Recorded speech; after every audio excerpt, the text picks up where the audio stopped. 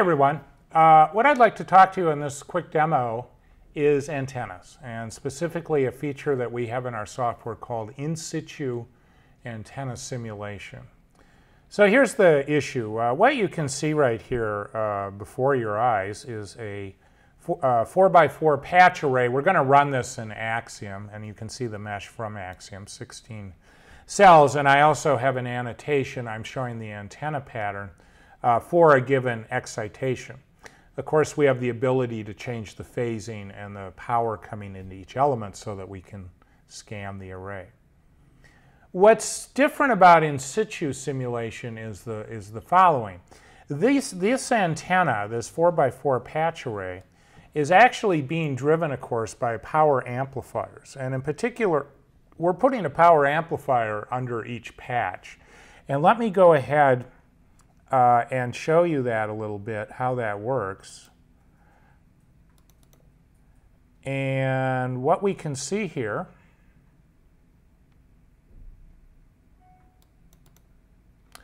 is in this schematic, if I bring this up, you see uh, before you, the, uh, over here where my cursor is on the right, we're actually just feeding some power from a perfect port in.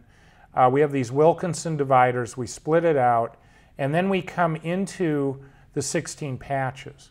As we come into them, we go through these little purple boxes, which are actually uh, the um, a combination of an attenuator, a phase shifter, and an amplifier.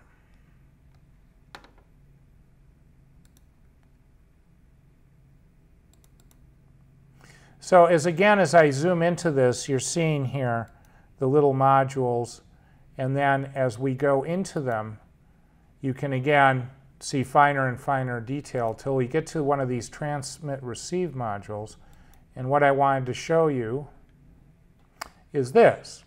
And notice what we've got right here is we have, of course, uh, you're coming into one of these modules here on the left where my cursor is. There's an attenuator, and this is controlled by an equation in the software. We'll change the overall attenuation of the array. And then we come here to a phase shifter, which again we can control by equations. And then what's different here is notice this subcircuit whole amp. And if I right click on this and enable it, and then we punch down into it and we have some um, matching networks. And this is what it is. It's actually an entire MMIC circuit. We actually have a two-stage MMIC on each one of these. Okay? Now, what that does is, the problem here is the following, is so the various MMICs uh, excite the array. But the MMIC, the amount of excitation, because it's a power amplifier, depends on the phase, on the load that it sees from each element of the array.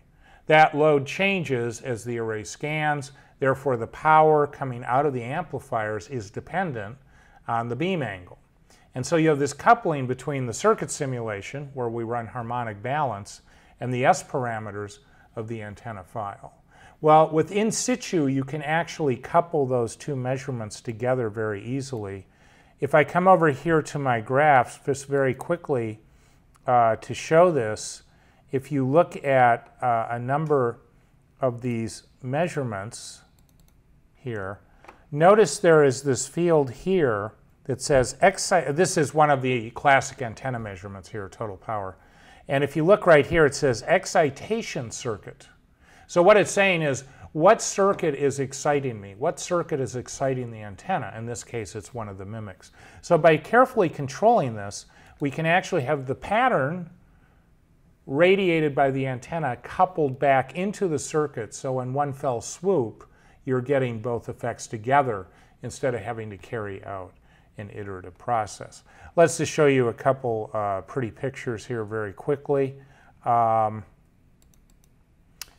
First of all, the circuit itself, here's your classic MMIC load pull. Uh, the, the designer is running various load pulls to see where uh, he or she would like to have the uh, active array impedances. Of course, we're maximum power transfer. Um, again, here would be uh, more load pull type things. This is actually looking at the input impedances to the array as you scan the beam, and the designer can get a better feel for how it is affecting uh, the MMIC.